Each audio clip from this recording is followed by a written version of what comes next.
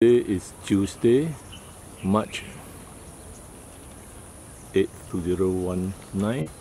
Now this looks like a kingfisher and uh, it is about 8.45 am.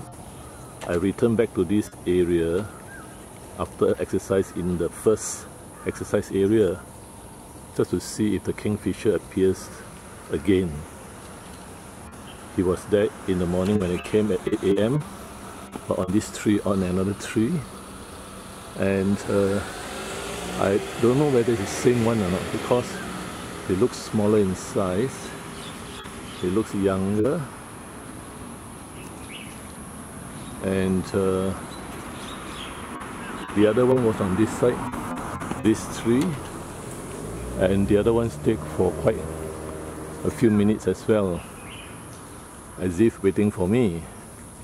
So I took several photographs of the other one and uh, then the pink neck green pigeons came and ordinary pigeons as you can see and after that I left this place about about 8.30 and went to the first exercise area which is further down and uh, had my morning exercise after that, I thought of going back to get ready for work. And uh, on second thoughts, I thought of coming back to this second exercise area to see if there's any kingfisher appearing. As you can see, this is quite a tranquil area. There's a bus stop where people work, wait for the feeder bus to go to the subway.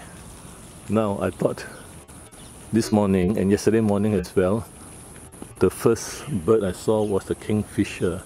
Yesterday morning I was here at 8 a.m. to 8.15 and uh, so I don't expect I don't expect another repeat appearance of the kingfisher. Now this one has been here for quite some time, probably more than 5-10 minutes so I'm able to video him. Now he's very still. He just stays there. High up on the tree. Looking here right left. Right and left. Solitary. Now unfortunately I didn't have the video of the first one this morning. And uh, as you can see this looks like a juvenile a smaller one some some calls from from him or her. And uh, this kingfisher will be there just stay there like a statue. And actually if you don't look at the trees you will miss him. Because the leaves do camouflage him quite well. This may be a female as well you can see some flying pink neck green pigeons. But uh, it's getting to be 9 a.m. The light is very bright. So the birds seems to have called it a day and uh, prefer the shade. The only thing is this kingfisher. He's just standing there sunning himself and uh, letting me take my photos as well as to video him. And uh, for the past three days, I've, I've come here and you can see there's a brown, the black naped oriole and some small birds flying around.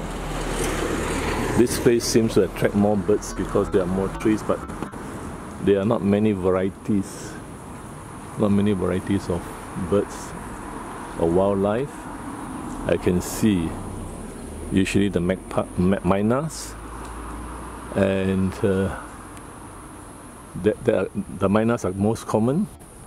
And uh, I would say this kingfisher appearance is a treat because it's not very common to see one.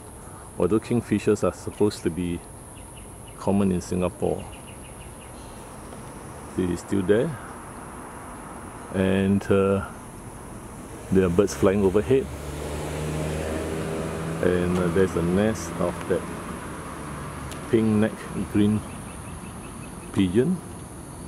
So I shall stop now. As it is getting late I'm going to work.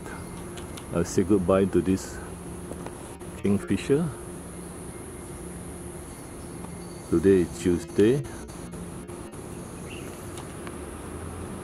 March 8 2019 Singapore. Stop now